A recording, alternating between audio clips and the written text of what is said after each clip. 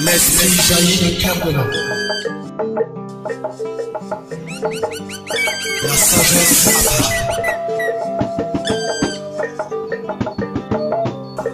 Le monde se transforme. La justice s'impose. Et l'amour rayonne sur toute la terre.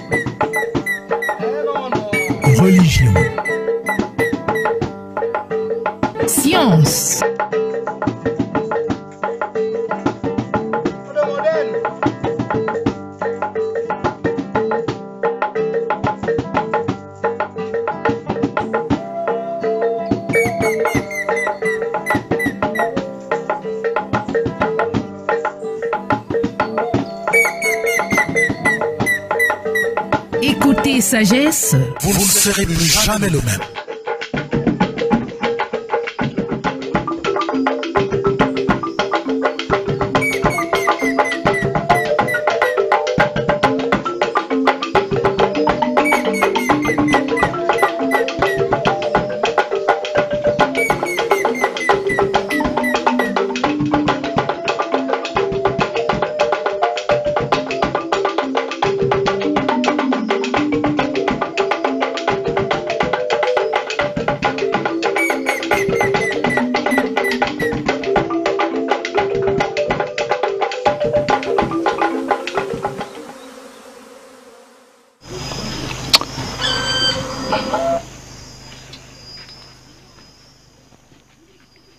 Bonsoir à tous. Merci d'être à nouveau dans ce programme, programme où nous dé- débattons des mystères, nous approfondissons les thèmes qui permettent à l'homme de rentrer à l'intérieur de lui-même et de découvrir non seulement la mission de la vie, de sa vie, mais aussi et surtout la raison pour laquelle nous sommes en incarnation sur la terre. Bien, nous allons parler aujourd'hui de la construction de la barque africaine. La construction de la barque africaine. Vous connaissez souvent euh, cette terminologie euh, contenue dans les livres sacrés, lorsqu'on parle souvent tantôt de arche, nous pensons ici par exemple à l'arche de Noé, tantôt on parle de barque, et vous vous souvenez de la barque de Ra, et on parle aussi de la barque dans les évangiles, dans la Bible. Tout cela représente exactement la même chose. Une barque a vocation de voguer sur les eaux. Une arche a la même vocation. Noé, à un moment donné,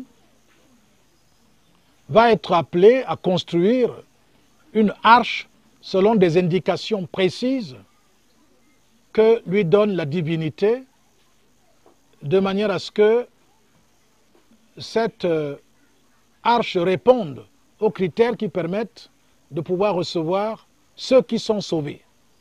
Et donc la notion de barque ou de arche intervient dans la problématique du salut. Et vous savez généralement que lorsqu'on parle de salut, on pense par exemple à quelqu'un qui peut être euh, en train de se noyer et qui va être sauvé. Vous pensez aussi au terme Moshe qui signifie sauver des eaux. Donc cela veut dire que chaque fois qu'on parle de barque ou de arche, il y a toujours la préoccupation concernant le salut. Maintenant, le salut de qui? Le salut de quoi? Eh bien, vous allez aussi observer que si on parle de salut, celui qui ne se reconnaît pas en train d'être, de se noyer ou alors de suffoquer dans une situation euh, qui peut entraîner même sa mort, eh bien celui-là ne peut pas être intéressé ou alors la question de la barque ne le préoccupe pas. Ce n'est pas son dada. Ce n'est pas important pour lui. Si vous ne vous sentez pas menacé de noyade, vous n'allez pas penser à une barque.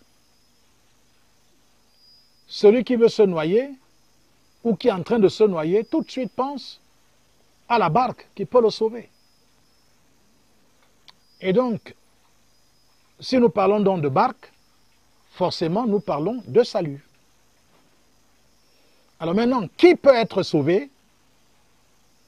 Nous pouvons déjà répondre de manière péremptoire. Celui qui peut être sauvé, c'est celui qui se sent en danger d'être noyé ou de se noyer. C'est celui-là seulement qui peut se sauver.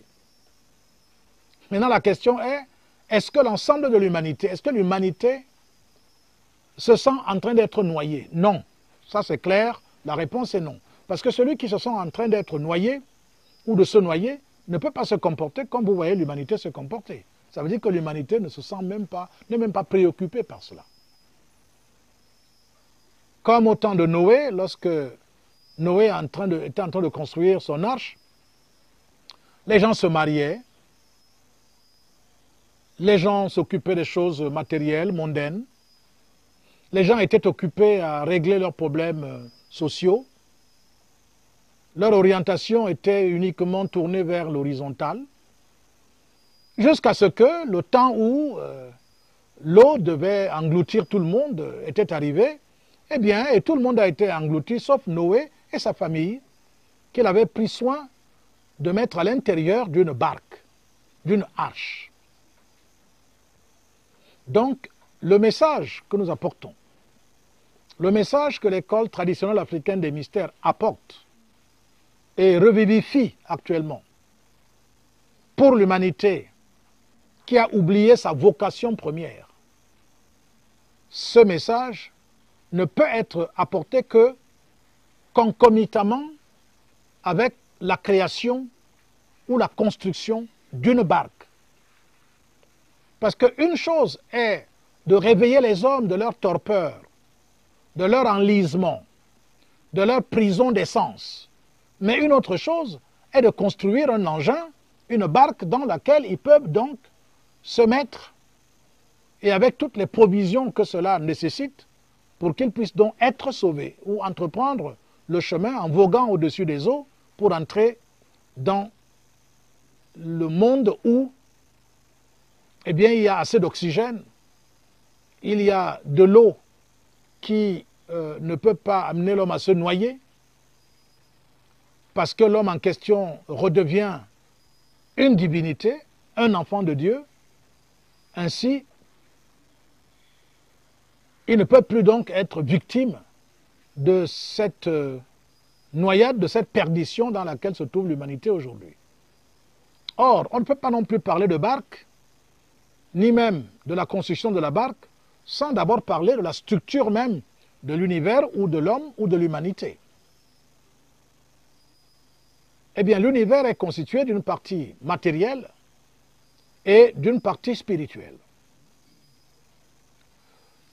lorsque nous savons donc que l'univers est constitué d'une partie matérielle, il est possible de nous interroger, est-ce que euh, l'humanité à l'heure actuelle est consciente d'autre chose que de ce qui est matériel? Est-ce que l'humanité soupçonne même qu'il y a autre chose? Si ça n'avait pas été l'enseignement universel contenu dans les livres saints de tous les peuples, n'eût été les grands travailleurs de la lumière qui viennent vers les hommes et revivifient le message antique, ancestral, qui seul est capable de réveiller l'humanité, n'eût été tout cela, eh bien, personne ne pourrait être sauvé.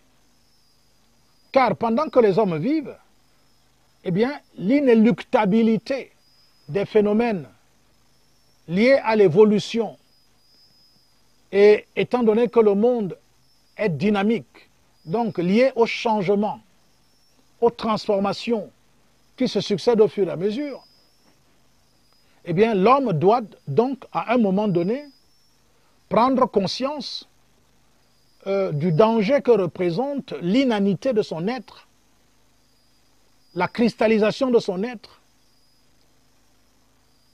l'amenant ainsi à vivre de manière passive, sans pouvoir y réagir positivement, tous les événements malheureux qui s'abattent sur l'humanité de manière inéluctable, parce que la Terre bouge, elle doit connaître, c'est une entité vivante, donc de temps en temps elle se nettoie par exemple, de temps en temps elle a l'impression d'être euh, en train d'être détruite par le, les activités anthropiques, dont les activités des hommes, et à un moment donné, elle, elle est obligée de réagir pour se nettoyer, hein, exactement comme les hommes, lorsque il y a déjà une pléthore dans votre ventre, ou alors il y a déjà euh, une prolifération des vers intestinaux, à un moment donné, vous avez besoin de prendre euh, quelque chose pour vous déparasiter ou alors pour freiner la prolifération des vers pour que vous puissiez garder une relative santé. Parce que sinon, eh bien, votre santé est hypothéquée. La Terre réagit de la même manière parce que c'est une entité vivante. dont elle a besoin de se déparasiter. Et donc, du coup, lorsque les parasites deviennent très très nombreux, et c'est le cas de, de l'humanité qui de temps en temps connaît des pics d'augmentation exponentielle de la population, et donc, du coup, si l'ensemble de cette humanité a un comportement négatif, eh bien la Terre a besoin de cela. Eh bien c'est ainsi aussi que l'homme, quand il constate cela, il constate qu'il y a une pléthore, il y a euh, qu'il suffoque, qu'il n'arrive plus à respirer. Par exemple, il est confronté à des difficultés inextricables dans la vie. Eh bien, il commence à chercher des solutions. Alors, beaucoup de choses, beaucoup de propositions lui sont faites, beaucoup d'écoles, de mouvements religieux, de mouvements mystiques, de mouvements occultes lui sont proposés et il est appelé à choisir parmi ces différents, euh, mouvements euh, qui le plus souvent ne sont pas forcément euh, des mouvements qu'on pourrait appeler des mouvements catholiques, c'est-à-dire des mouvements qui peuvent apporter réellement le, salut.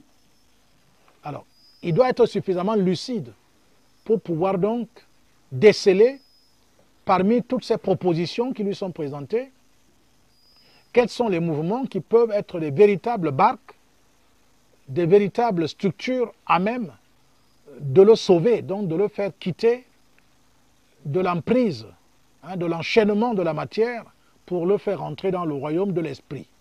Et j'ai dit, il y a donc, l'univers est constitué d'une partie matérielle et d'une partie spirituelle. Et donc cela veut dire que dès qu'on parle de barque, de construction d'une barque, c'est forcément pour s'élever du monde matériel, du monde des sens, pour entrer dans le royaume de l'esprit, dans l'ordre de l'esprit. Donc il y a l'ordre de ce monde, et bien qui est constitué de l'aspect matériel dense, mais aussi des aspects subtils de la matière que malheureusement par erreur, les hommes appellent souvent l'esprit. Ainsi, vous entendez parler des gens de spiritualité africaine, de spiritualité orientale, occidentale, et ainsi de suite, alors que tout cela relève tout simplement de la méconnaissance réelle de ces deux réalités qui sont d'un côté la matière avec sa partie dense et la partie subtile, et de l'autre l'esprit avec ses différentes subdivisions, ses différentes fréquences vibratoires. Dès qu'on ne sait pas ça dès le départ, tout de suite, il suffit de la manifestation, par exemple, d'un des corps de l'homme, par exemple le corps astral, pour qu'on parle déjà de l'esprit. On dit, il sait, son esprit est allé à tel endroit. Son esprit a fait le mouvement, il est allé à tel endroit. On utilise le terme esprit. Or, nous ne sommes pas en présence de l'esprit, mais on est en présence d'une partie subtile de la matière. L'esprit étant tout autre chose. Or, les hommes à l'origine vivaient dans le royaume de l'esprit.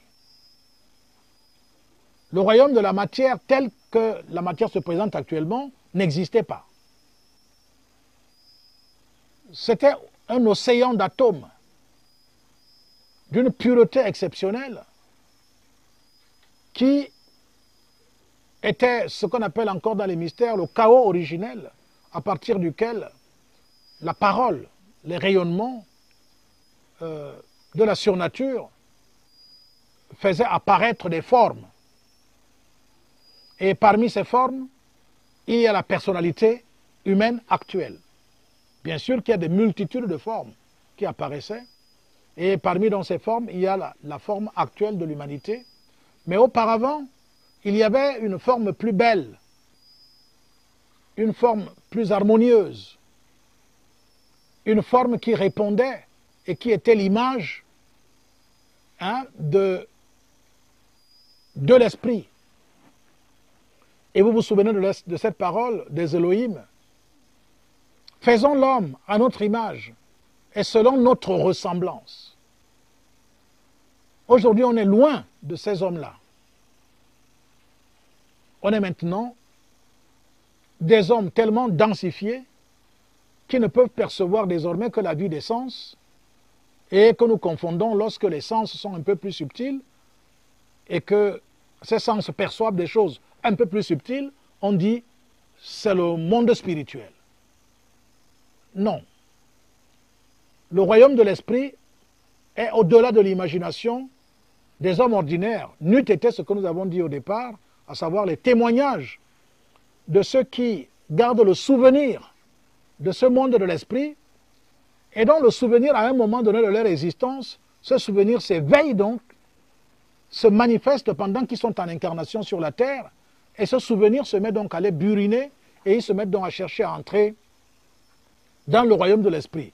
Parce que là, la souvenance, la ressouvenance, le souvenir hein, de ce que cet ordre était dans le passé, il existe à l'intérieur de l'homme, mais comme tout simplement un principe. Ce souvenir est là. Après avoir dit cela, nous allons donc vers ce qu'on appelle donc comment est-ce qu'une barque se construit? Une barque donc se construit sur la base de ce souvenir d'une entité qui s'incarne sur la terre et qui, pendant son expérience terrestre, se souvient qu'il y avait un monde de l'esprit. Ce monde de l'esprit, à un moment donné, s'éveille dans son être pendant qu'il est en train de vivre comme tout le monde.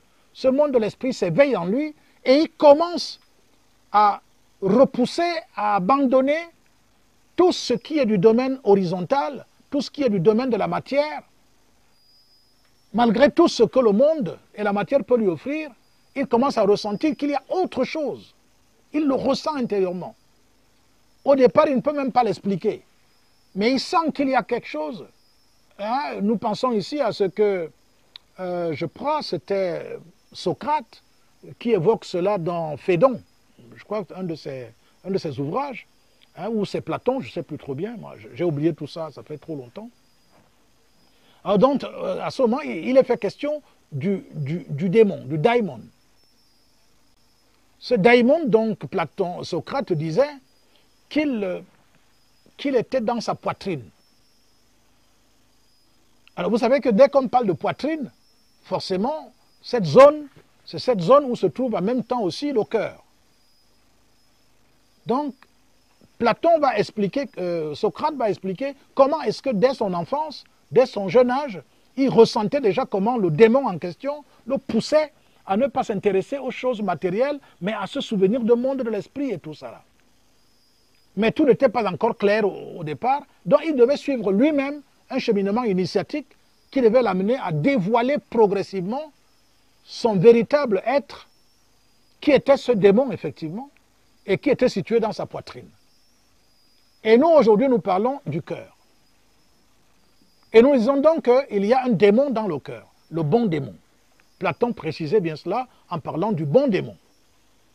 Par opposition au principe de vie purement tourné vers la matière, au principe de vie éphémère, qui était le mauvais démon, dont le bon démon étant donc ce principe spirituel, ce germe d'éternité, ce germe d'immortalité, qui est situé au centre mathématique de l'homme, donc au niveau de son cœur.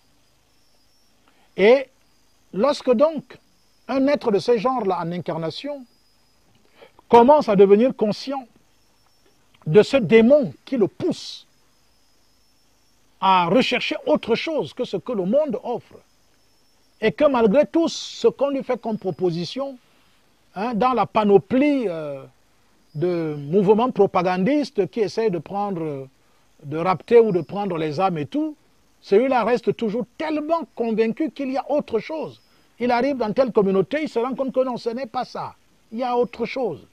On lui parle des choses les plus belles concernant le royaume, le royaume de la matière, le monde des sens, mais il trouve toujours que non, il y a, il y a autre chose. Il y a tout, les tableaux circulent comme dans un kaléidoscope, avec toutes les beautés, toutes les nuances et tout, mais il sent toujours qu'il y a au-delà de ça, il y a autre chose. C'est ce genre de personne qui, donc, en incarnation vient et à partir duquel, eh bien, à partir de laquelle, la personne, qu'une barque donc va commencer à se construire. Parce qu'à l'intérieur de cet homme vit et vibre et commence à vibrer, en fait, le royaume de l'esprit, l'ordre de l'esprit.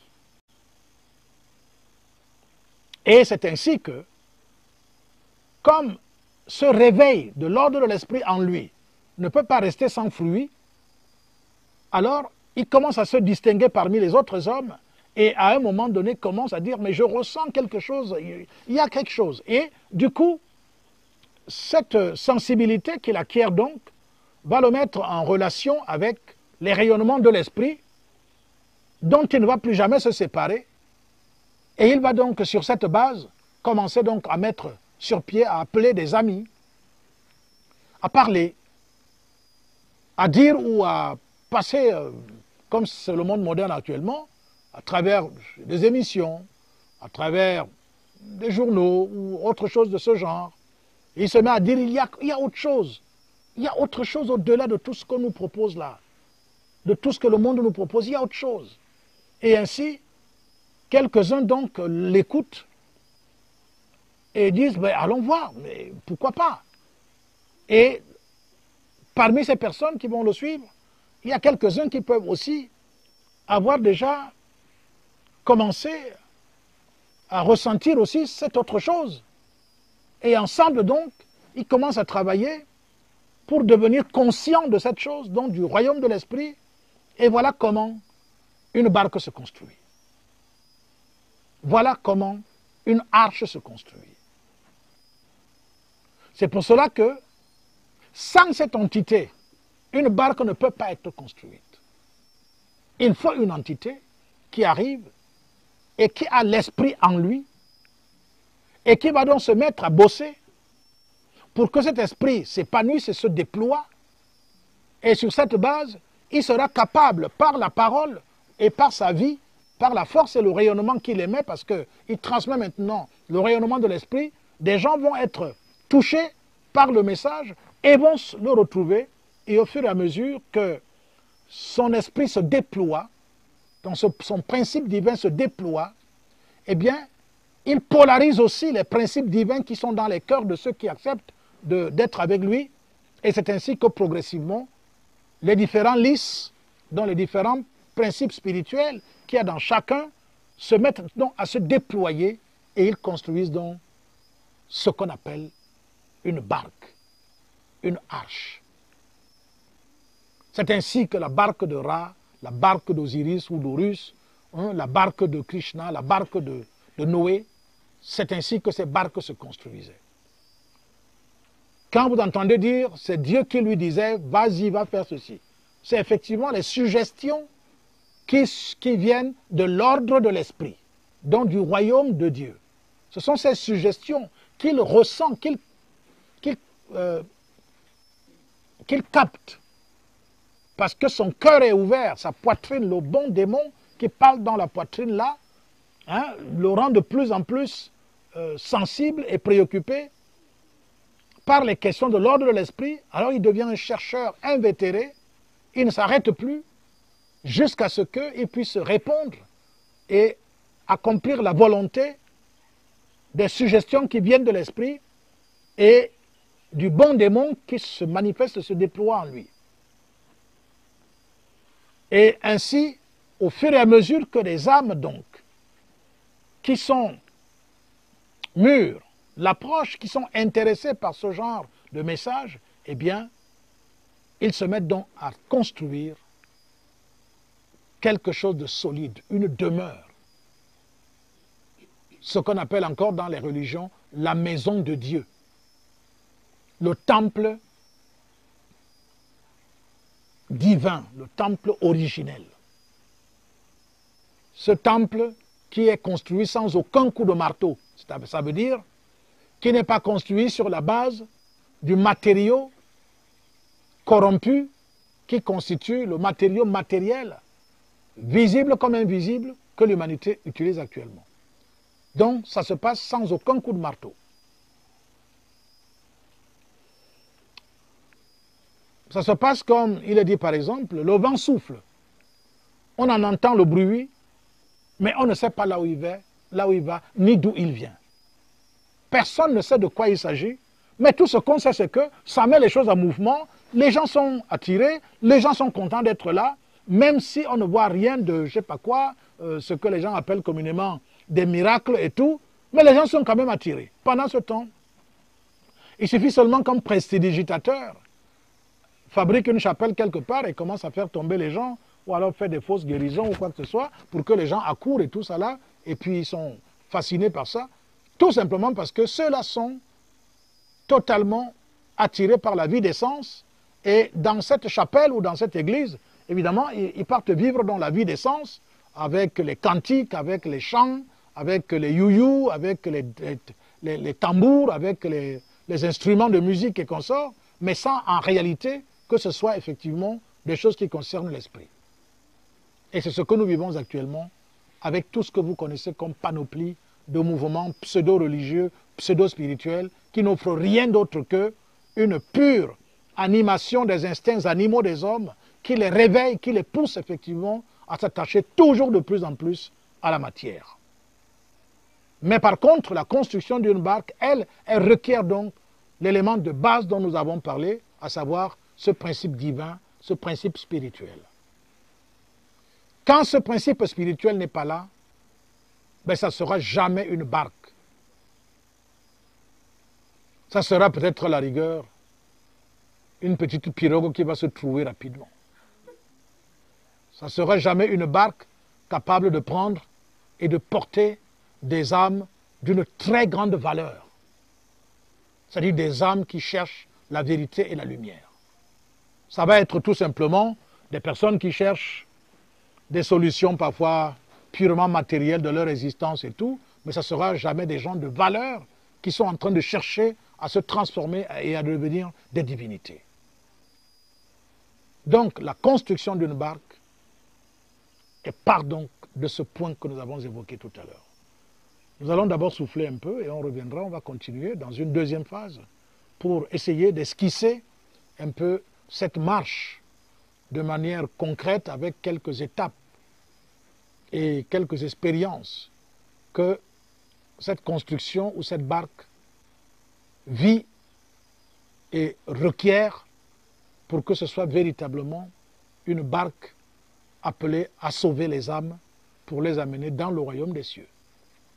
La technique.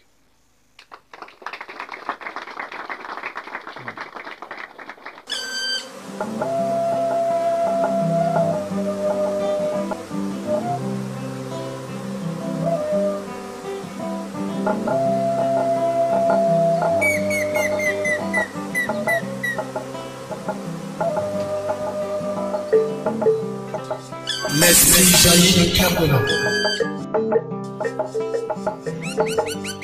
La sagesse.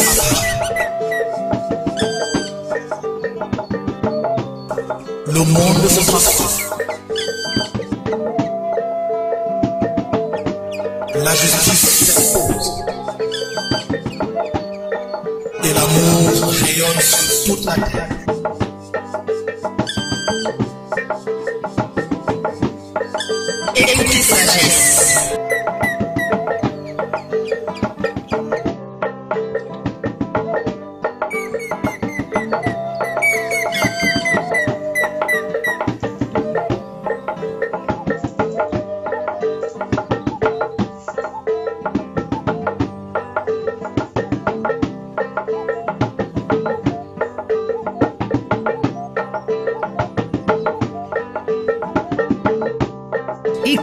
Sagesse. Philosophie,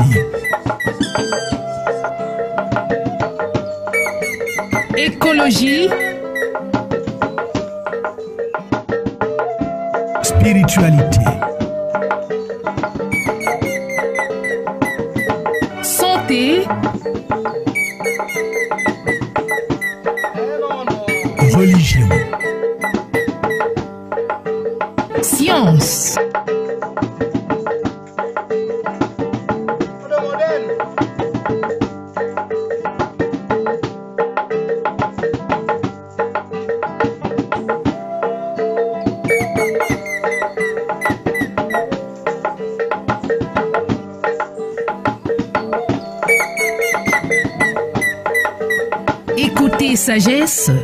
ne serez plus jamais le même.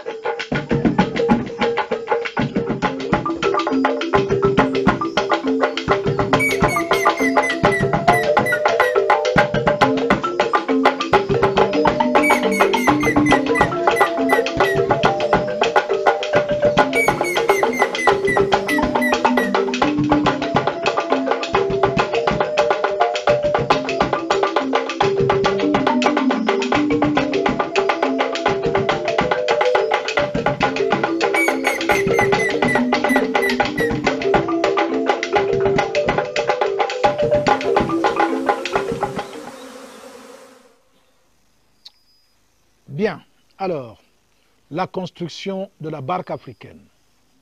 Nous en venons donc à dire, de même qu'on a parlé de manière générale de l'avènement d'une barque et de sa construction, nous allons parler de la barque africaine. Pourquoi nous parlons de la barque africaine? Parce que dans le cours de l'évolution, comme nous l'avons souvent dit aussi, un peuple avance, connaît des expériences, par exemple, vous savez l'expérience, les expériences douloureuses, mais aussi merveilleuses que l'Afrique a traversées. Par exemple, nous parlons de la période où euh, l'Afrique a rayonné la lumière sur le reste de l'humanité pendant quelques millénaires. Après, nous sommes entrés dans un cycle de difficultés.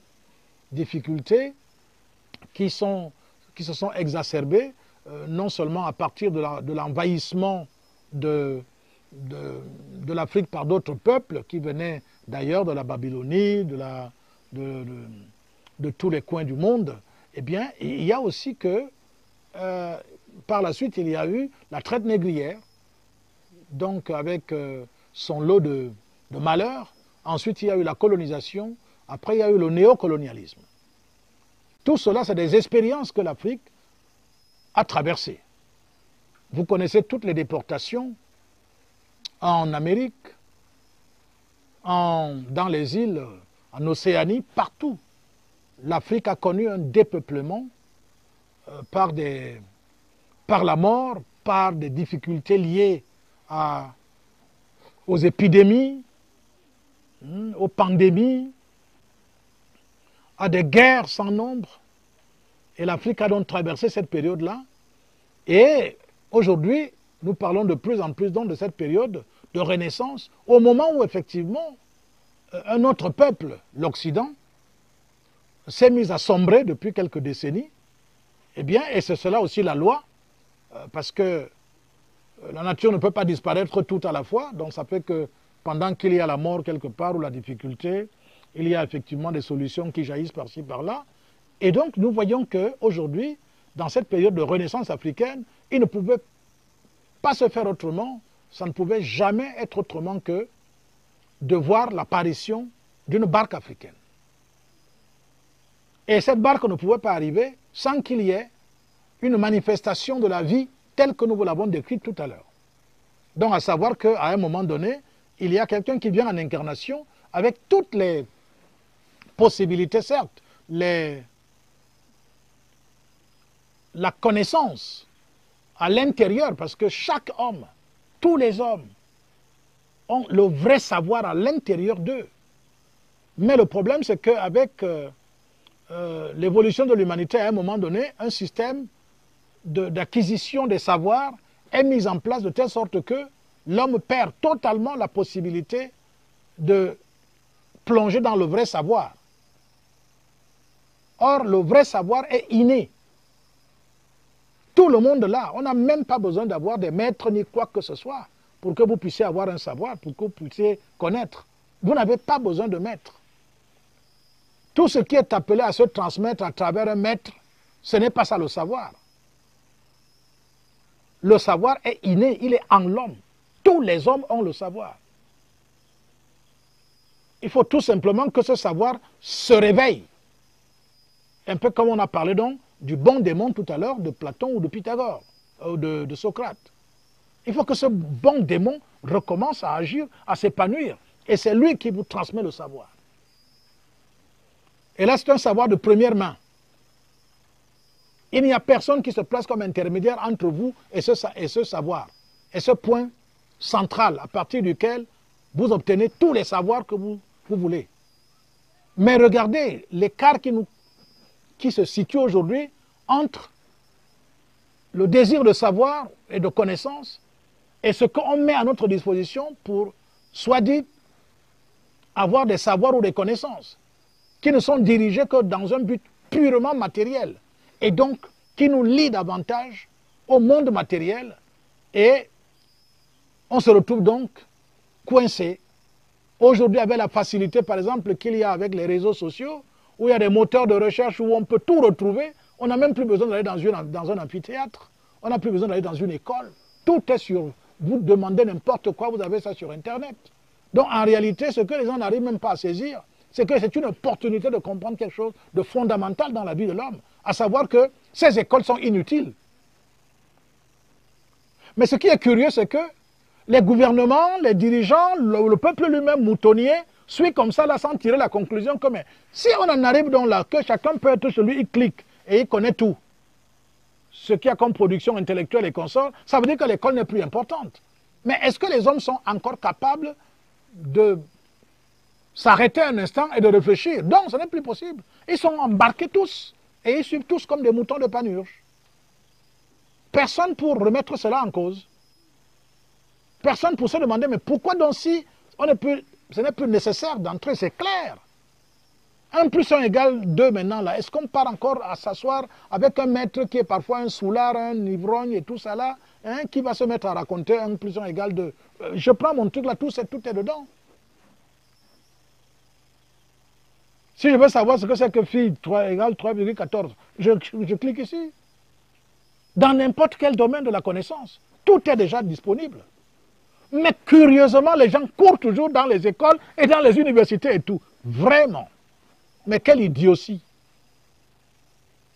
Quelle idiotie. C'est-à-dire que c'est pour cela qu'on dit que ceux qui sont souvent guidés par l'ordre de l'esprit ont la lucidité nécessaire pour savoir que, mais attends, pourquoi est-ce que je vais continuer à aller à l'école alors que je peux cliquer, machin, je, je paye juste mes, on appelle ça quoi? Mes, mes gigas, et puis c'est fini, j'ai tout ce qu'il faut. Mon enfant n'a plus besoin d'aller se mettre devant un, un, un pédocriminel hein, pour, euh, avec tous les risques que cela comporte. Et il peut avoir ça à la maison. Mais personne ne réfléchit dans ce sens. On n'arrive pas à remettre les choses en cause et réfléchir pour voir comment est-ce qu'un nouvel ordre, réellement, un nouvel ordre peut apparaître. On se laisse emporter par un autre ordre maintenant, là, qu'on appelle le nouvel ordre mondial, qui va encore vous imposer tout, y compris le manque de liberté, l'absence de liberté. Et quand, dès que l'homme ne peut plus être libre, c'est terminé. Qu'est-ce qu'il y a encore d'autre à faire? Donc, vous voyez que lorsque nous parlons de la barque africaine, attention, nous sommes là dans un sujet très, très important en ce qui concerne l'Afrique, le destin de l'Afrique. Tant que cette barque ne peut pas se construire, le véritable savoir n'existera pas. Il n'y aura rien. Vous pensez qu'il y aura quoi d'autre encore en dehors de ce que vous connaissez dans les universités ou les écoles doctorales ou les écoles où on enseigne à être ingénieur ou quoi que ce soit? Il y aura encore quoi? Vous pensez, vous attendez quoi d'autre? On est arrivé même jusqu'à la physique quantique. On est déjà au niveau où on voit, on constate que la matière est illusoire. Elle n'existe même pas de manière absolue. Elle n'existe même pas. Mais curieusement, même malgré ça, les hommes continuent à courir après la matière. C'est quand même incroyable. Mais quel envoûtement généralisé. Un vrai envoûtement. Les hommes, réveillez-vous quand même, non? Comment on peut vous embarquer jusqu'à ce stade-là? Et généralement, ce que vous dites, c'est, bon, on va faire comment? C'est fini. On va faire comment? Voilà. Si je ne fais pas comme ça, comment il va vivre?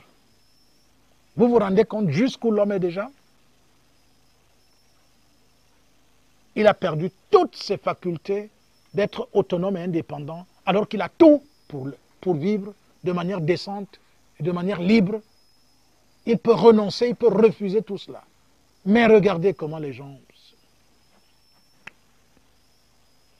Des milliers de personnes, des millions de personnes défilent actuellement en France en ce qui concerne les retraites. Parce qu'on a dit qu'on a fait une réforme pour prolonger la durée de la retraite.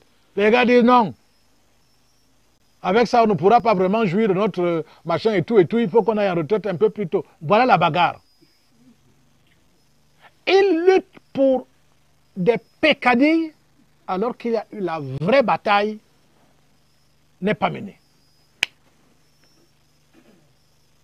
Ils croient qu'ils se battent pour être libres alors qu'ils se battent pour s'enfermer davantage dans la prison. Vous voyez le malheur de l'humanité à l'heure actuelle? Or, il suffit seulement qu'une bonne partie de l'humanité se tourne vers l'intérieur et interroge le principe divin qui est à l'intérieur de chacun de nous pour que la liberté des enfants de Dieu, la force, tout ce que vous pouvez imaginer, le savoir qu'on peut chercher dans les universités en dépensant des millions. Des millions, les gens dépensent des millions, des centaines de millions pour qu'un enfant sorte ingénieur. Alors qu'il a tout ce savoir en lui. Vous ne voyez pas qu'il y a un problème, les amis. L'enfant a tout ça en lui, c'est dedans.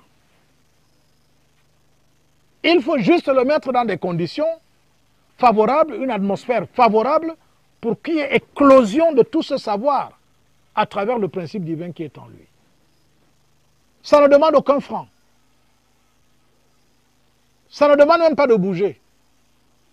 Ça ne demande même pas de prendre l'avion. Ça demande juste d'entretenir le corps si- en lui donnant un peu à manger, un peu à boire, en le soignant un peu, le reste là. Et puis la chose là vient. Mais personne ne s'y intéresse. On court après ce qui est illusoire. On court après la matière alors que l'ordre de l'esprit nous fait signe et voudrait qu'on y entre pour être dans la vraie liberté. La justice, qui, comme disait Platon encore ou Socrate, qui est la plus grande qualité d'une âme, on n'arrive pas à être juste. On ne poursuit pas ça. On poursuit le vent.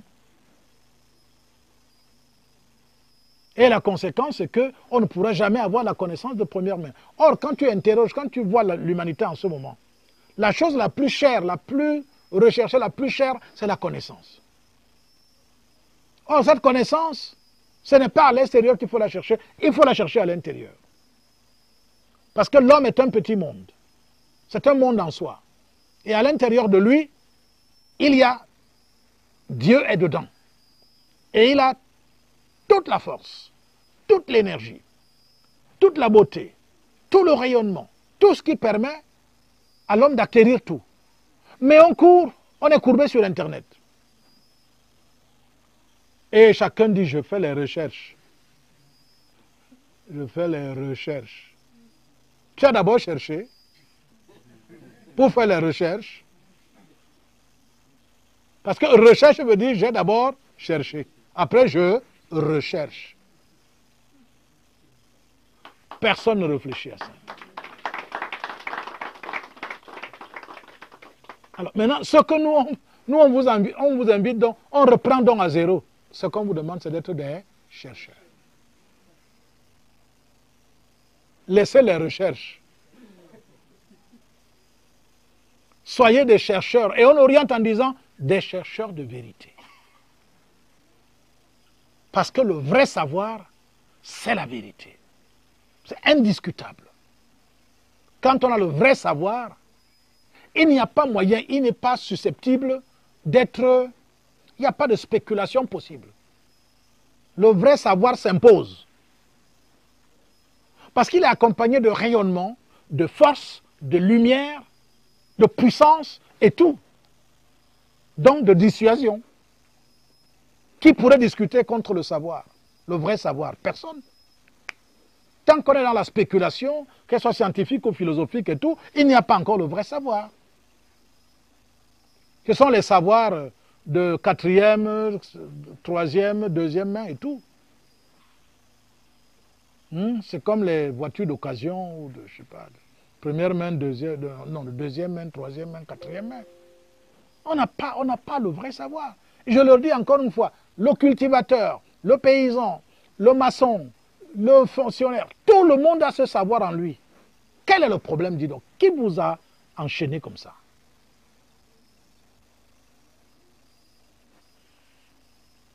Regardez ceux qui disent enseigner. Pour enseigner, il est obligé de prendre les livres. Il prend les bords. Machin. Non, c'est comme ça. Il a fait les recherches. Et il commence à citer. euh, Démocrite avait dit que. Tel avait dit que. Ici, là, il avait dit que. D'ailleurs, même son, son, son maître de thèse lui dit que si tu ne cites pas tout ça, là, tu n'auras pas la thèse. Donc, il cite, il cite, il cite. Il doit mettre la bibliographie. Il doit mettre tous les livres qu'il a lus. Souvent, même maintenant, on triche, même on n'a même pas lu ça. On met seulement bibliographie, on met le nom. Vous voyez, l'humanité est quand même. C'est compliqué. Alors, donc, la construction d'une barque dont requiert. Voilà le point de départ. Voulez-vous participer donc à la construction de la barque africaine? Nous l'appelons africaine parce que chacun a son tour. L'Occident a fait sa barque, l'Orient a fait sa barque. Souvenez-vous de ce qui s'est passé avec euh, euh, ceux qui ont saisi les, les mouvements, qui ont saisi la profondeur de l'enseignement de Lao Tse et qui ont pratiqué le Wu-Wei, le non-faire, le non-agir. Ils ont réussi à créer une barque pour l'Orient. Les machins, ils sont entrés, ils sont entrés dans le royaume de l'esprit. Les Occidentaux aussi l'ont fait. Ils sont entrés dans le royaume de l'esprit. Et nous alors, après avoir passé tous les temps compliqués que nous avons passés là et tout, mais c'est le moment. Maintenant, c'est notre moment de le faire. Mais on ne peut pas le faire si vous ne renoncez pas à poursuivre le vent, à poursuivre ce qui n'apporte rien du tout, qui vous enchaîne, qui vous abétit, vous abrutit, et qui fait de vous des êtres totalement asservis. Donc nous devons en cela donc revenir à l'intérieur, dont nous appelons donc tous les Africains, le peuple africain en général. où qu'ils soient, à entendre ce, message, à se réveiller, à savoir que c'est le moment, plus que jamais. Maintenant que partout ailleurs, on ne parle que de guerre, avec toute la violence inouïe que cela entraîne. Afrique, Africains, entendez la voix. Et si vous l'entendez, n'endurcissez pas vos cœurs. Construisons ensemble la barque africaine des temps actuels. Ce ne sera pas la première fois qu'une barque africaine aura été construite. Mais cette fois-ci, elle doit se reconstruire. Vous connaissez le déterminisme de l'histoire tant qu'on vit dans ce monde. Construisons-la, personne d'autre ne peut le faire à notre place.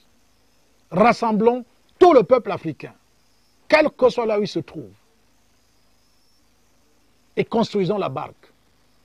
Ne nous laissons plus distraire par les, superficialités qui nous font penser que oh, le christianisme c'est machin, l'histoire des blancs, le bouddhisme c'est l'histoire des, des, des, orientaux, ainsi de suite. Là, revenons à la, à machin et tout. Alors j'entends souvent, je vois souvent sur Facebook là, des gens qui demandent, ok, les musulmans ont Mohammed, les, les orientaux ont Bouddha, euh, les occidentaux ils disent que c'est ils ont Jésus.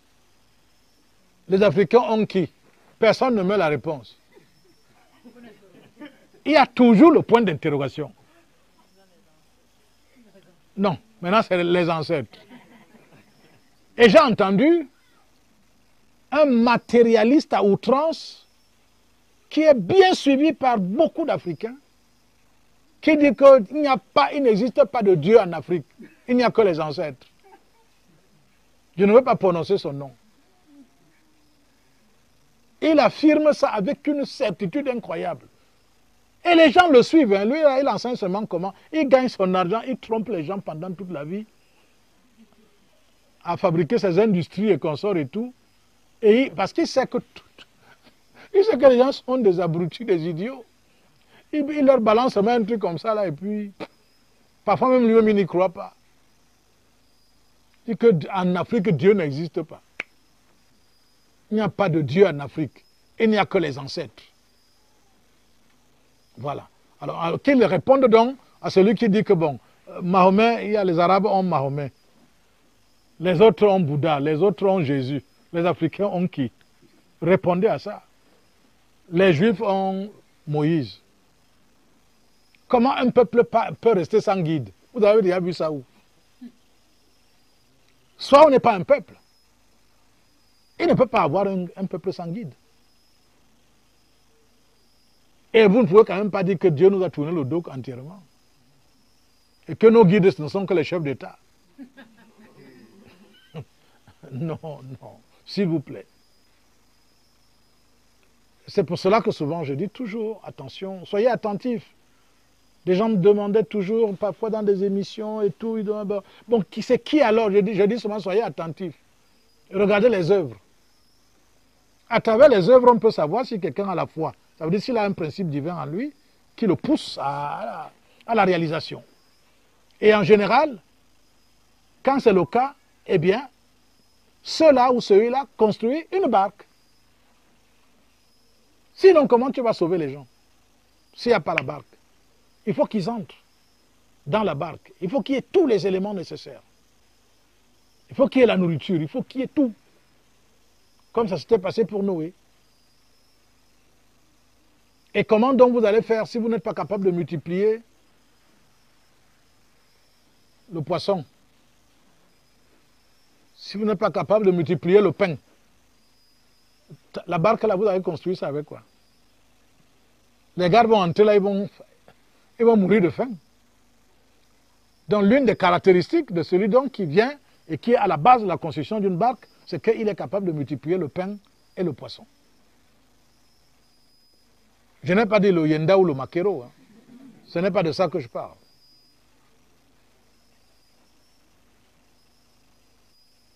Donc, il faut qu'il vienne avec la force, une force, et avec le sens du sacrifice.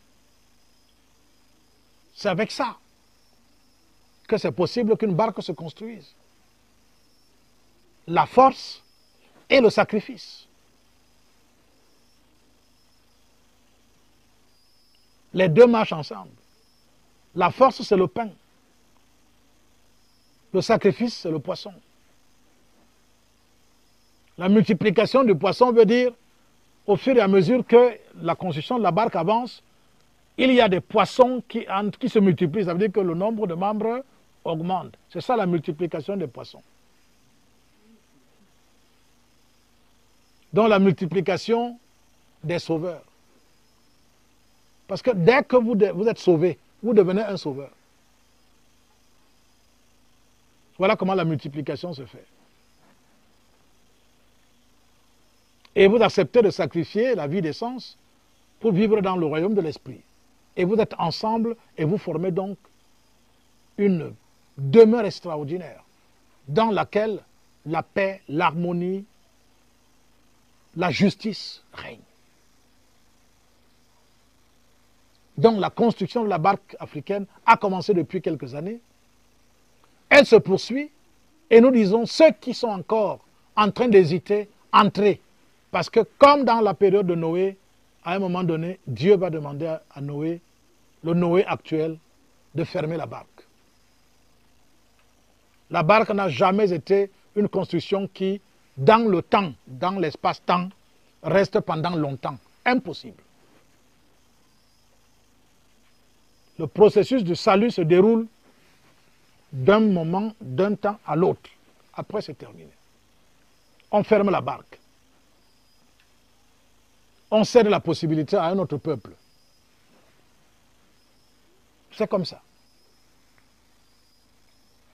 Bien, nous allons donc euh, maintenant passer à la phase euh, d'échange. Et nous espérons qu'il y a déjà des préoccupations qui nous sont parvenues. Ok, nous allons commencer à prendre. euh, voilà. Alors, c'est troisième qui nous dit bonsoir grand maître et merci pour votre enseignement de ce soir. Est-ce que la barque peut être présent- représentée par une tente? Bien sûr, c'est toujours pareil. Car dans le livre sacré qu'est la Bible, Jésus amène trois de ses disciples à la montagne où il voit Moïse, Élie et Jésus. Ses disciples proposent à Jésus de construire trois tentes. Est-ce donc à dire que la barque est aussi une tente? Est-ce que cette barque est circonscrite dans un lieu précis? Oui, bien sûr. Il faut que ce soit trois tentes, pour ne pas dire trois chambres dans la même maison. Et c'est pour cela que les barques ont toujours le parvis, le saint et le saint des saints. Voilà les trois tentes. Quand vous entendez Pierre, Jean et Jacques, qui représentent aussi trois tentes, dire qu'ils montent sur la montagne et ils disent construisons trois tentes ici. L'un pour Moïse, dont chacun d'eux représente quelqu'un. Parmi les trois. Vous avez compris ça, non? Donc, la barque à trois, c'est une tente, oui, mais on peut dire c'est une maison, mais qui a à l'intérieur trois chambres. Donc, la barque, oui, est une tente. Et c'est pour cela que, quand Jésus arrive, par exemple, il dit détruisez cette tente, ce temple, je le rebâtirai en trois jours. Donc, temple, tente, tout ça, c'est la même idée. Et c'est pour cela que lorsque une barque doit se construire, il y a un point d'ancrage, parce qu'il faut bien qu'il y ait un point d'ancrage quelque part. La construction de la barque doit commencer quelque part, puisque dans ce monde, nous vivons dans le monde de l'espace-temps. Donc forcément, la barque va commencer à se construire dans un temps précis et dans un lieu précis. C'est comme ça que ça se passe. So Atiti nous dit Bonsoir grand-maître, à quelles conditions non accomplies une barque peut-être peut-elle courir les risques de naufrage? Vous savez très bien si ça prend des trous par exemple.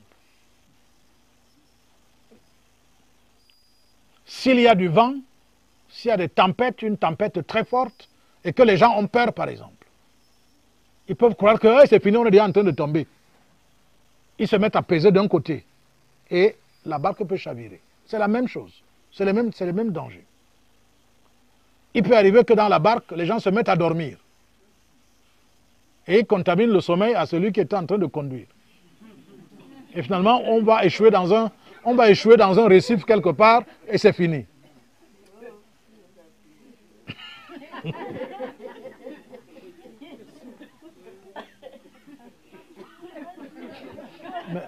Pourquoi il y a beaucoup de rire dans cette salle?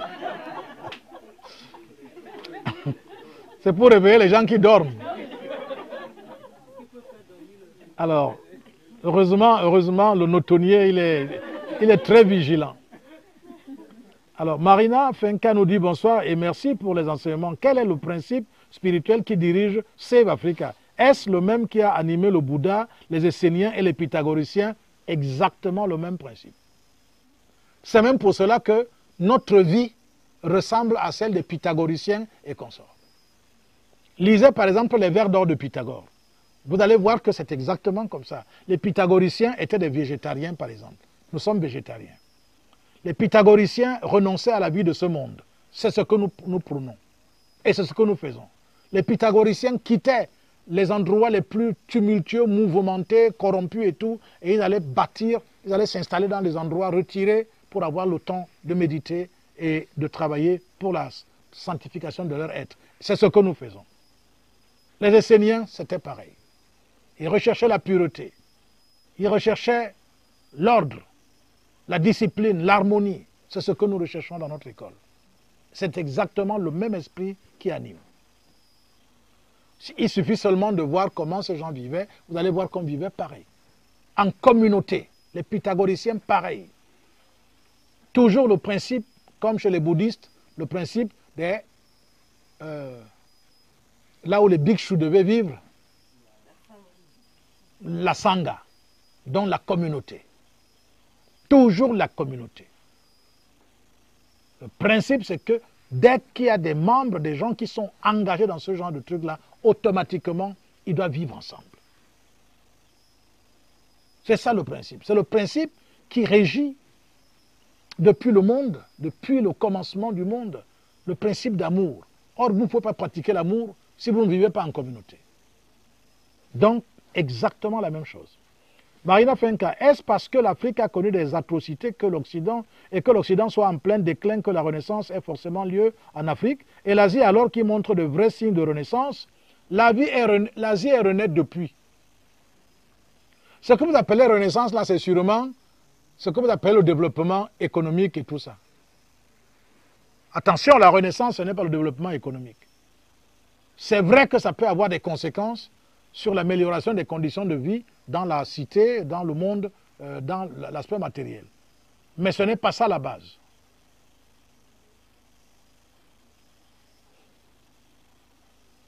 Donc moi, je ne, pense pas que euh, l'Inde soit en train de renaître. L'Inde a déjà fait sa part déjà. Elle a fait sa part. Regardez comment elle a répandu le yoga partout en Occident et tout ça là. C'est ça que vous ressentez à travers ça. Maintenant, c'est fini.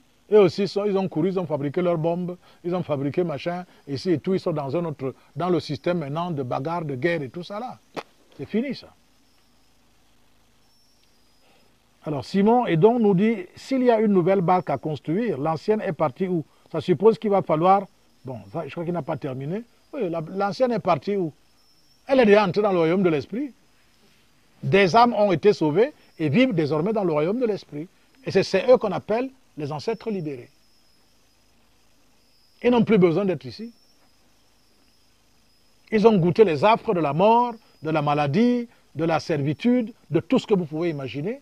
Et après, le principe divin s'est réveillé, le bon démon s'est mis à se déployer et ils ont été libérés des contraintes de la matière et ils vivent maintenant en sûreté euh, dans le royaume de l'esprit. Leur barque ne fait qu'aller de magnificence en magnificence au fur et à mesure. Voilà. Bon, alors vous comprenez donc qu'il y a, euh, vraiment pour revenir à ce que notre ami So disait tout à l'heure, les risques de naufrage, oui, il y en a. Je vais vous donner encore un autre risque de naufrage. Si pendant que vous êtes en train de construire une barque, beaucoup de gens, par exemple, nous sommes une école des mystères, et beaucoup de gens arrivent à la fois pour devenir élèves et tout. C'est dangereux. Il faut faire très attention avec ça. C'est pour ça que nous, on peut faire qu'il y en a toujours un, doucement. Tu viens, on te gère d'abord. Après, un autre arrive, on gère. Parce que dès que vous venez, vous venez à la fois comme ça, là, eh, c'est un danger. Alors que les autres mouvement propagandiste que vous connaissez. Oh là là, si vous arrivez 1000 le même jour, c'est bon. Puis ce n'est pas des barques. Hein? C'est des entreprises. Au contraire, plus il y aura des gens, plus ils vont apporter l'énergie, plus euh, il y aura... Les démons vont bien s'installer, les, les mauvais démons, les entités démoniaques, les morts, et tout ça là, ça va être une agitation incroyable et tout. Après, on va prendre les dombolos, on, dan- on, on tape le dombolo, on danse et tout ça là, et puis c'est fini. C'est réglé. Hmm? Voilà une autre, un autre danger. Et il y en a comme ça. Un autre danger, eh bien, celui où ceux qui guident la barque, de temps en temps, ils sont tentés. Ben oui, Satan peut s'approcher d'eux et dire, bon, on te propose que tu nous adores, hein, et puis on te donne des milliards et des milliards pour développer ton école. Dès que tu acceptes, c'est fini. La barque a disparu. Vous avez vu? Il y a des dangers et ce n'est pas des moindres. hein. Mais voilà. J'espère que vous admirez toutes les images que nous voyons en ce moment défiler sur l'écran et qui font partie de, ce que nous avons vécu pendant toute notre, tout notre rassemblement, pendant ce congrès international de Save Africa qui est en train de se terminer. Les délégations sont en train de repartir au fur et à mesure. Le clou, ça va être euh, euh, le 31, dans deux jours. Les dernières personnes partiront et puis voilà. Et on se donnera rendez-vous l'année prochaine. Serez-vous des nôtres? Au lieu de continuer seulement à regarder l'émission Vous ne voyez pas que c'est bon? Regardez comment ils sont tous ces gens-là. Enfants comme adultes. C'est pas beau ça? Ben, C'est aussi ça. On dit souvent la foi avec les œuvres. Alors, euh, Paul Aloïse nous dit la notion de barque est toujours liée à l'eau, mais dans le cas de l'Afrique ancienne, on parle de la barque solaire de Ré. Pourquoi est-elle liée. Oh. Pourquoi est-elle liée au soleil et non à l'eau? Bien. Aussi, il est mentionné que le dieu Ré utilise deux barques pour voyager de jour et de nuit. La barque Manjit, Ré entame sa journée sur la barque Manjit et traverse les 12 heures du jour avant d'entamer son, périple souterrain. La barque euh, Mesektet, Ré, entame son périple souterrain sur la barque Mesektet et traverse les 12 heures de la nuit avant de pouvoir renaître au matin. Pourquoi deux barques dans ce cas? Ben, Nous avons bien dit au départ qu'il y a ce qu'on appelle l'esprit et ce qu'on appelle la matière. La barque matérielle, il n'y a pas de barque d'en haut sans qu'il y ait la barque d'en bas. La barque d'en bas est constituée de personnalités qui, mûries de l'intérieur, eh bien, amènent, acceptent de porter leur âme pour les amener- pour l'amener dans la barque. Et donc, forcément, il y a donc deux barques. Parce que, moma mwenda mwande mwande, les choses marchent deux à deux. S'il y a une barque solaire, et c'est ce que nous sommes en train de construire, une barque solaire, eh bien, la deuxième barque, c'est la barque qui est constituée de ces bois de cèdre ou bien du cèdre du Liban que représentent les personnalités matérielles qui sont en fait du bois. Vous savez, c'est pour cela qu'il y a donc les deux barques. Notre barque, elle est solaire et l'autre, elle est celle de la personnalité. Mais la personnalité doit donc maintenant voguer au-dessus des eaux. Que veut dire voguer au-dessus des eaux? C'est bien sûr se mettre au-dessus et surnager, c'est-à-dire ne plus laisser que notre passé et notre subconscient nous subjuguent. Alors à ce moment-là, la barque nage. Elle nage. Parce que l'eau représente toujours, dans les mystères aussi, le subconscient. Donc les forces du passé. Les forces qui nous font être prisonniers de la matière et de la vie des sens. Et dont nous devons voguer au-dessus d'elles. Donc c'est pour cela qu'il y a la barque qui vous met, la barque solaire. Et puis il y a aussi, vous avez vu la représentation dans les hiéroglyphes par exemple, dans les mystères de l'Amdouat par exemple. Vous allez voir que la barque, certes, elle est faite en bois et tout, mais en même temps, c'est la représentation de la barque solaire. Donc, les eaux d'en haut et les eaux d'en bas. Les eaux d'en haut sont feu, sont chaudes, et les eaux d'en bas sont froides. Dès qu'on parle de barque solaire, ça veut dire que la barque solaire vogue dans les eaux chaudes, ce qu'on appelle dans les mystères l'eau vive. Cette eau est vive, elle chauffe, elle brûle. Alors que celle d'en bas est dans les eaux qui ne brûlent pas, mais qui doivent à tout prix survoler, essayer de s'arracher à l'étreinte du passé, à l'étreinte de la vie des sens, pour s'élever grâce à l'intermédiaire qu'on appelle l'âme, pour entrer donc dans la barque solaire. C'est pour cela que sans l'âme, donc sans ce principe euh, féminin qui est au centre de notre cœur, eh bien, ce n'est pas possible qu'il y ait le salut. C'est pour cela, par exemple, que lorsque la barque que conduisait Moïse était construite, on a dit que cette barque, Moïse, est sauvé des eaux. C'est-à-dire l'ensemble de ceux qui avaient été sauvés avaient été sauvés des eaux. Donc Moïse représentant l'ensemble des personnes qui avaient répondu positivement à l'appel divin et qui avaient entrepris donc de nager et de voguer dans les eaux de la matière pour s'élever dans la barque solaire. Alors, Aloïs revient encore. Bonsoir. Vous dites bien que le vrai savoir, c'est la vérité. L'humanité a difficilement obtenu réponse satisfaisante à ce sujet. Pouvez-vous rendre compré- compréhensible, je crois, c'est ce qui veut dire, ce qu'est la vérité? La vérité, c'est ce qui ne se dit pas avec la bouche.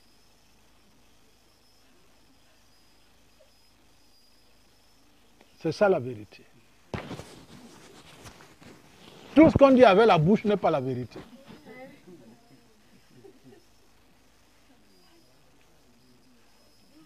Vous voyez, vous êtes en train de m'écouter là, je parle avec la bouche, non?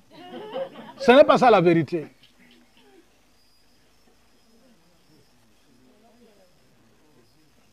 La vérité, c'est ce que vous n'entendez pas.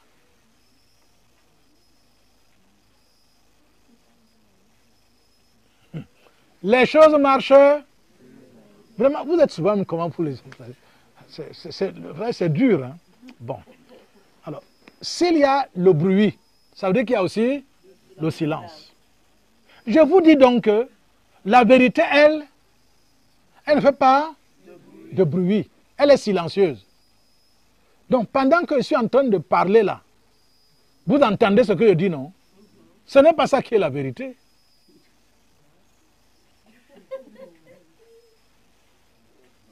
La vérité, c'est ce que vos oreilles n'entendent pas. Parce que vous avez des oreilles, mais vous ne- vous n'entendez pas. La vérité est silencieuse. C'est ce que vous n'entendez pas avec vos oreilles depuis que je parle là. C'est ça qui est la vérité. Bon, vraiment.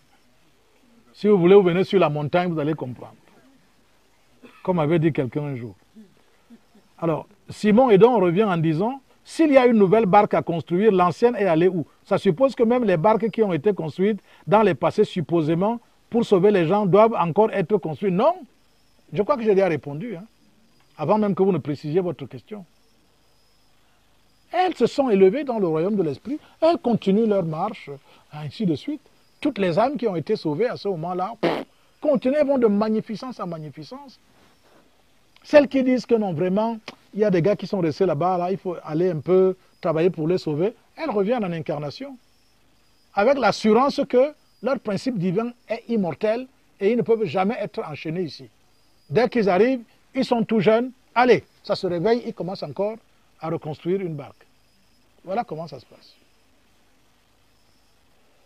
Sommet nous dit bonsoir la famille, bonsoir papa Tao, pourquoi quand la lumière vient, vient à ses frères, ses frères ne la reconnaissent pas, pourtant ce sont ses frères. Mais parce qu'elle vient en silence. Les frères attendent le bruit. Les frères aiment le bruit. Quand tu viens, tu fais trop de tapage là, tu racontes comment, oh machin, voilà. Là, c'est bon. Mais euh, quand c'est le silence, ils ne veulent pas. Alvin nous dit, quand vous dites que maintenant c'est le tour de l'Afrique de se construire en tant que, en, entrant dans la barque, et nous pouvons l'affirmer au vu des événements partout ailleurs dans le monde. Euh, ma question est la suivante. Quand Jésus est à la montagne et dit à ses disciples de rester éveillés, est-ce le cas pour l'Afrique aujourd'hui, pour sa libération, de rester éveillé? C'est même ça. Et ça, on appelle aussi ça la lucidité.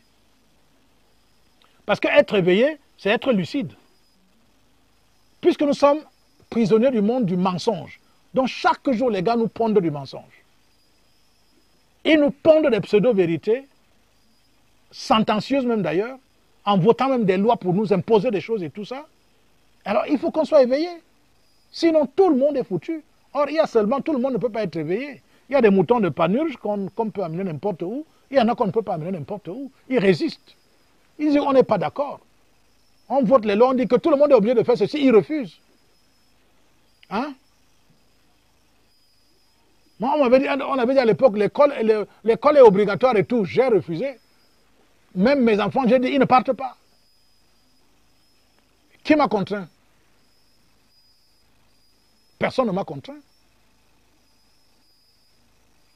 Mais le problème, c'est que les gens, ben, voilà, sont convaincus que, oh, si je ne fais pas, oh, est-ce je veux manger, est-ce que... Alors que c'est là où on t'appauvrit, on te suce, on te vampirise toute la vie.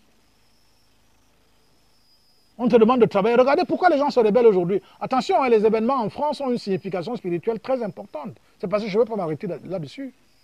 Nous sommes dans la barque de l'Afrique, là.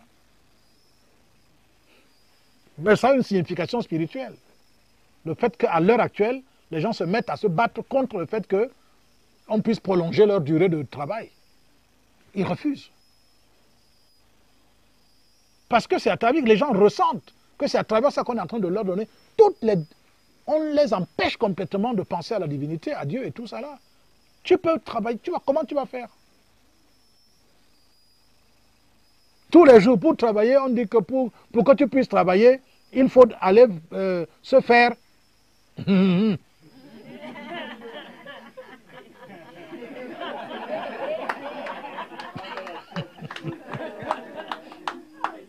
voyez comment on est éveillé, non?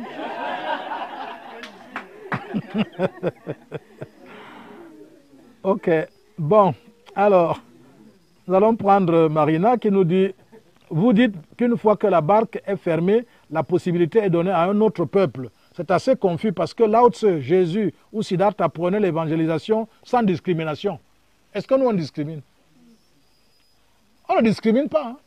Nous on dit seulement que dès que la possibilité, dès que le déluge commence, il faut fermer avant que le déluge ne commence. C'est ça le principe. Hein. On ferme avant que le deuil, parce qu'on a le signal que maintenant, c'est terminé. Il n'y a plus aucune manifestation possible. On ferme. Ceux qui seront déjà dedans continuent tranquillement leur travail. Même en étant sur le plan physique, matériel. Ils continuent. Et tous les événements qui arrivent ne les concernent pas du tout. Ils ont toutes les indications pour se retrouver au bon endroit, au bon moment. Hmm? Vous ne savez pas ce qu'on a, a failli vivre. N'eût été l'amour divin, ce qu'on a failli vivre ce mois de mars. Encore que ce n'est pas encore fini.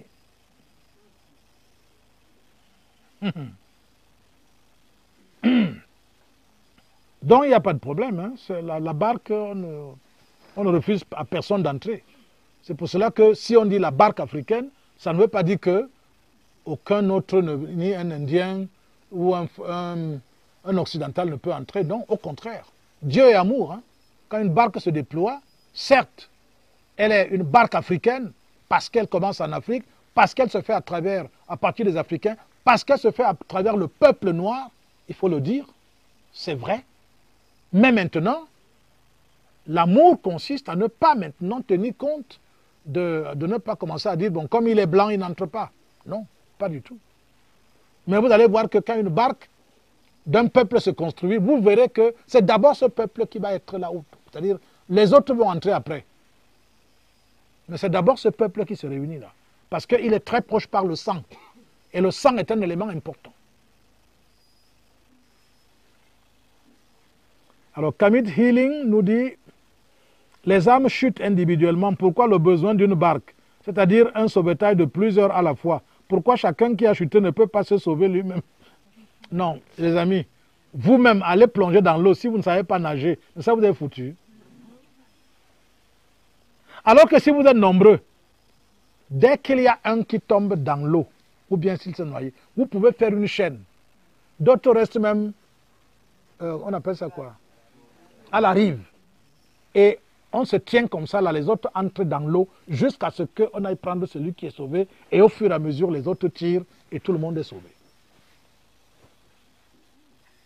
C'est ça le principe. Mais s'il n'y a pas possibilité, alors là, c'est foutu, c'est tout. Donc il faut. Et puis, le salut est lié à l'amour. Il n'y a pas de salut sans amour. Et l'amour suppose au moins deux entités. N'est-ce pas, les amis? Sinon, amour, alors c'est quoi? C'est au moins deux entités. L'amour divin veut sauver ce qui est perdu. Et Dieu, sa force, elle est d'une puissance incroyable. Elle est à même de prendre des milliers et des milliers de personnes pour les mettre en sécurité dans le royaume de l'Esprit. Voilà. Et c'est ça qu'on appelle l'amour divin. Dieu aime l'humanité parce qu'il est à même de tirer tout le monde pour qu'il rentre dans le royaume de l'Esprit. Mais il faut que les hommes, ils ne forcent personne. Alors là, c'est ce que Dieu ne fait jamais du tout. Il n'oblige personne. Tu décides, tu dis que je suis d'accord, je viens. Il te présente même les conditions, les, les machins, les, tout. Et tu es d'accord avec ça, tu entres. Tu fais. Tu n'es pas d'accord, même si tu avais déjà commencé, tu dis que je veux descendre, on te met l'échelle. Même si tu ne pouvais pas descendre toi-même parce qu'il y a déjà un espace là, tu ne peux pas faire le saut. Si tu insistes, on met l'échelle. Ou bien on te donne la corde, on dit tiens, descends. Arrivé là-bas en bas, tu quittes, tu laisses la corde seulement. Vous n'avez jamais vu un démocrate comme Dieu. Donc il faut. On ne peut pas. Ne, faites pas comme euh, le voleur là avec, qui avait dit à Jésus Maintenant, sauve-toi toi-même et sauve-nous. Non, il faut être sauvé ensemble. C'est la loi d'amour. C'est comme ça. Il n'y a pas de salut seul. Non, jamais. Le salut, c'est une affaire de groupe. Il n'y a rien à faire. Euh, devenir un moine ou bien un anachorète qui, part, qui fuit le monde et qui se mettre là. Le temps là est passé. Il y a eu une période à l'époque où on pouvait faire ça. Mais le monde a atteint des, niveaux où il n'est plus possible d'être sauvé seul. Quand l'humanité n'était pas à ce degré de cristallisation, il était possible que quelqu'un se retire du monde complètement et n'est plus en contact avec personne et ne passe que le temps à méditer, à observer et ainsi de suite jusqu'à ce que le principe divin se déploie convenablement et se termine. Là maintenant, là, ouf. Et les dettes alors qu'on a contractées, tu vas finir avec ça comment? Donc le, monde est devenu compliqué. Donc là, ce n'est plus possible. Bon, alors nous allons bientôt nous arrêter, il nous reste quelques minutes. Euh, J'espère que les amis vont encore nous envoyer quelques questions. Si c'est le cas, tant mieux. Je crois que des questions arrivent. Bon. Mais en attendant, il faut donc revenir sur la question de cette fameuse barque africaine. Oui, il faut quand même être bien clair dessus. C'est pour cela que nous souhaitons ardemment, et ça nous avons mis ce programme en marche, nous voulons ces derniers temps que ce message parvienne à tout le peuple africain, quel que soit là où il se trouve. Aux États-Unis, au Brésil, partout. Heureusement que c'est en train de se faire. Le congrès international de Save Africa de cette année le démontre encore. L'année prochaine, il y aura encore plus. 20 originaires de pays différents étaient représentés ici. Il y avait plusieurs continents réunis ici. Et ça ne va aller que crescendo. Parce qu'il faut que le maximum soit sauvé. Et ensuite viendra la fin. Hein? Quand on va remettre, on va dire à Dieu, ce que tu nous as envoyé, prendre, les voici. On remet et puis, hop, terminé. Voilà comment ces choses se passent. Le vieux, Kamit revient et dit, le vieux, la vérité n'est pas de ce monde, la vérité n'est pas l'apanage de la personnalité. La vérité ne se saisit que par ce qui est immortel en l'homme. La personnalité ne peut connaître la vérité. Je ne sais pas si vous avez dit autre chose. hein. Je ne sais pas si c'est différent de ce que vous avez entendu. Sauf si vous venez de, de prendre le train en marche. Hmm? Voilà. Maintenant, le tout n'est pas de dire de réciter ça comme ça. Le tout est maintenant de se mettre au travail. Euh, La vérité n'est pas de ce monde, mais le royaume de vérité peut s'établir à partir de ce monde. C'est ici qu'on le construit. Hmm? Bien sûr. Sinon, si on dit la vérité n'est pas de ce monde, si on s'en tient à ça, ça veut dire qu'on n'a même pas besoin de chercher la vérité. N'est-ce pas? Or, c'est faux. Vu de cette manière, c'est faux complètement. Comme j'entends souvent dire, la perfection n'est pas de ce monde. Et alors, ça veut dire, il ne faut pas chercher à être parfait, n'est-ce pas? C'est le langage des démons, des mauvais démons. C'est un langage satanique qu'il faut toujours percer à jour. Vous ne faites pas attention, c'est avec ça qu'on manipule l'humanité. Laisse, dis donc, tu peux aller où, dis donc. La vérité n'est pas de ce monde. Dès qu'on te dit ça, tu dis que bon, tu as même raison. Mangeons, puisque après ça, voilà. Mhm. Satan se transforme en ange de lumière et tient aussi le discours de Dieu. Voilà comment ça se passe. Maintenant, nous nous disons, la barque doit être, continuer d'être construite. Elle a déjà commencé. On ne parle pas de ça au futur. hein. On ne parle pas de ça au futur. C'est en train de se faire. Il n'y a qu'une barque qui peut rassembler des gens comme ça. Vous avez déjà vu, dites-moi un peu là. Dites-moi un peu, dites, dites-moi. Quelqu'un peut nous appeler là ou bien nous écrire. Tu as déjà vu, c'est facile de faire un congrès de trois semaines Dites-moi qui fait ça? Même en Europe. Un congrès, trois semaines, les gens sont au même endroit. Dans un village. Dites-moi, il y a Internet. Dites-moi, un congrès de trois semaines. Qui fait ça sur la terre-ci Ça ne vous dit rien? Ce n'est pas un miracle, ça? Vous cherchez les miracles comment?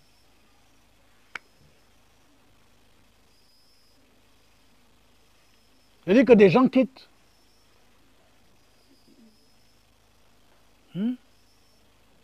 Comme on a fait là, dit que des gens se retrouvent. Chacun prend la route. Depuis les États-Unis, depuis Mayotte, depuis la, la Suisse, depuis la France, depuis la Belgique, depuis le Togo, depuis le Gabon, depuis le Congo, partout. Les gens se retrouvent. Ils restent pendant trois semaines. Ils abandonnent toutes les activités, tout ce qu'ils faisaient. Ils viennent ici pendant trois semaines. Vous avez déjà vu ça où? Eh oui, monsieur. Comme dit souvent prosaïquement, je ne sais pas si ça se dit dans d'autres pays africains, au Cameroun, on dit il y a Dieu dedans. non, il y a Dieu dedans, ce n'est pas possible. S'il n'y a pas Dieu dedans, comment vous pouvez expliquer ça? Et on vous dit ça ne va aller que crescendo. Ça va aller, c'est-à-dire ça. Vous verrez, non Ça, On est en, en 2023. Vous verrez l'année prochaine. C'est ça, quand la cloche a sonné, ah, le rassemblement, bah les âmes qui sont prêtes, et elles reconnaissent, elles prennent la route. Vous ne pouvez pas les empêcher, vous ne pouvez rien. Donc, euh, encore une fois, je voudrais tout simplement vous souhaiter. Alors, il y a encore d'autres, des dernières questions? Alors, nous allons prendre Marina revenu, Marina Fenka. Ah oui, voilà, ok. Les dettes karmiques ne se payent-ils pas avec les bonnes actions? Comme les fils de lumière l'ont dit, aussi ce qui revient dans leurs enseignements et leur parcours, c'est qu'ils ont réalisé. Bon, je ne comprends pas très bien. Les dettes karmiques ne se payent-ils pas par les bonnes actions? Pas seulement. Les bonnes actions peuvent contribuer à payer les dettes karmiques, mais ça ne suffit pas. Ça ne suffit pas. Parce que ce que vous appelez les bonnes actions là crée d'autres dettes karmiques. Hmm. Réfléchissez un peu plus. Marina nous dit l'élévation tout seul, sans mettre ce qui semble être contradictoire à vos enseignements, d'autant plus qu'ils prennent la découverte de soi à partir d'une initiative personnelle. Oui, je ne sais pas, il n'y a pas de problème. Faites avec l'initiative personnelle et faites votre réalisation. Vous savez, c'est le, la sainte démocratie. hein. Nous, nous avons tenu notre discours. C'est le discours de notre barque. Vous avez d'autres maîtres qui vous disent que tu peux, tu peux faire ta réalisation de soi et tu fais ton salut. Faites comme ça, il n'y a même pas de problème. Est-ce qu'on va discuter ça? Helling nous dit, grand sage, dites-nous s'il vous plaît, pour nous qui n'avons pas les yeux pour voir et les oreilles pour entendre, qu'est-ce qui nous a été épargné en ce mois de mars? Bon, laissez, le mois n'est pas encore fini, attendez d'abord la fin du mois. Après, on verra cette question la prochaine fois. On parle du Gange, ça c'est Paul Aloïs. On parle du Gange, du Noun, du Nil et de plusieurs autres cours d'eau en ce qui concerne les barques du passé. Dans, dans quel cours d'eau navigue la barque africaine des temps actuels? Dans la barque de la Sanaga. Alors, Alvin nous dit Eh oui, mon peuple meurt par manque de connaissances. C'est bien vrai, c'est bien dommage. Oui, ça c'est clair. Donc, n'oubliez pas que la Sanaga contient l'eau du Noun aussi. Vous avez bien parlé du Noun, non? Le Noun, il se verse dans l'Ombam. C'est de là d'ailleurs que l'Ombam prend sa source. Du Noun. Le Noun est ici, derrière notre montagne ici, du village ici. Quand tu te mets de l'autre côté de la montagne, tu vois le Noun, là en bas, là, comme ça. Donc, c'est, donc, pour dire que c'est d'ici que prennent. hmm, c'est dans cette zone-ci que les eaux, hein, les eaux sur lesquelles hmm, la barque nage pour entrer dans le royaume, c'est d'ici que ça part. Donc, ce n'est pas un fait de hasard non plus. Hmm? J'espère que vous savez ça. Voilà. Alors, je pense que c'était la fin. Voilà. Eh bien, nous allons donc nous séparer ce soir. Mais avant de nous séparer, je voudrais encore dire à tous ceux qui cherchent, eh bien, celui qui aime, ça veut dire que celui qui a commencé son processus de salut ne peut plus jamais vouloir être seul. Parce que la force qui se déploie en lui ne peut jamais le laisser dormir tant qu'il n'a pas sauvé les autres âmes. C'est impossible. C'est pour cela que un d'eux, un de ces grands, avait dit Malheur à moi si je n'annonce pas l'évangile.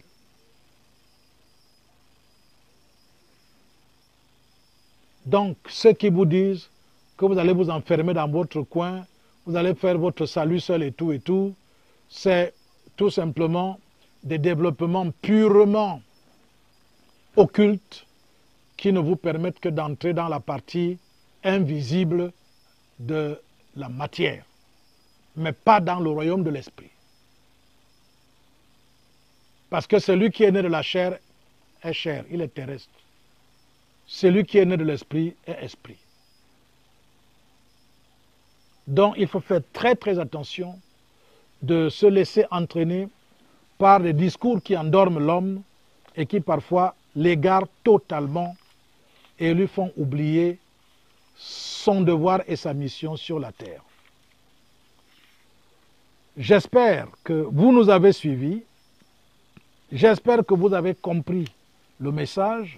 J'espère que vous êtes sensible à cette volonté d'entreprendre le chemin qui mène dans le royaume de l'esprit et que vous allez, comme tout bon chercheur, chercher à retrouver le chemin du salut. Je voudrais tout simplement, avant qu'on ne se sépare, eh bien, vous lire juste cet extrait contenu dans Genèse. Est-ce qu'il y a une autre question? Bien. Alors, voici euh, l'Éternel dit à Noé, entre dans l'arche, toi et toute ta famille, car j'ai vu que devant moi, tu es juste parmi les contemporains. Prends auprès de toi sept couples de toutes les bêtes pures, le mâle et sa femelle, un couple des bêtes qui ne sont pas pures, le mâle et la femelle. Sept couples aussi des oiseaux du ciel, mâles et femelles, afin de garder en vie leur descendance sur toute la surface de la terre. Car dans sept jours, sept jours, moi je vais faire venir la pluie sur la terre, quarante jours et quarante nuits, et j'effacerai de la vue de la surface du sol tous les êtres que j'ai faits. Noé agit en tout point comme l'Éternel le lui avait ordonné. Noé avait 600 ans lorsque le déluge survint sur la terre. Noé entra dans l'arche avec ses fils, sa femme et ses belles-filles pour échapper à l'eau du déluge. D'entre les bêtes pures et les bêtes qui ne sont pas pures, les oiseaux et tout ce qui rampe sur le sol, il entra dans l'arche auprès de Noé des couples, un mâle et une femelle, comme Dieu l'avait ordonné à Noé. Sept jours après, les eaux du déluge vinrent sur la terre. Voilà comment ça s'est passé. Je vous conseille de continuer à méditer sur tout cela et retrouvons-nous mercredi prochain pour une autre émission de sagesse. Bonsoir à tous.